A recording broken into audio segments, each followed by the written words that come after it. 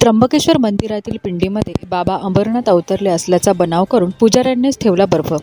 सात महिन्यांपूर्वीच्या चौकशी अहवालातून सत्य आले उघडकीस. तीस जून दोन हजार बावीस रोजी ज्योतिर्लिंग त्र्यंबकेश्वराच्या पिंडीच्या खळग्यात बर्फ असल्याचा व्हिडिओ सर्वत्र प्रसारित करून या पिंडीत बाबा अमरनाथ अवतरले असल्याचा बनाव येथील तीन पुजाऱ्यांनी करून त्याबाबतचा व्हिडिओ व्हायरल केल्याने सर्वत्र एकच खळबळ उडाली होती.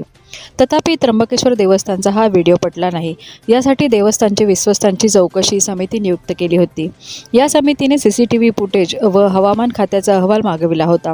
हवामान खात्याच्या अधिकाऱ्यांनी प्रत्यक्ष पाहणी करून पिंडीत बर्फ होऊच शकत नाही. नाही असा निर्वाळा दिला.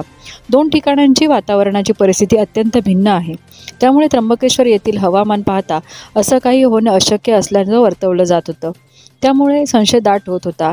हा संशय अखेर खरा ठरला आहे आणि तसा अहवाल देखील नुकताच प्राप्त झाला. C C T V footage तपासल्यावर सत्य उघडकीस आले आहे.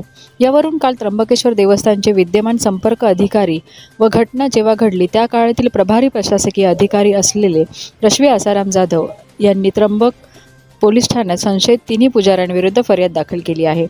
दरम्यान व्हायरल केलेल्या त्या व्हिडिओची समाज माध्यमांवर जोरदार चर्चा झाली होती. भाविक भक्त अमरनाथ बाबांचा आशीर्वाद या भावनेने या घटनेकडे पाहत होते.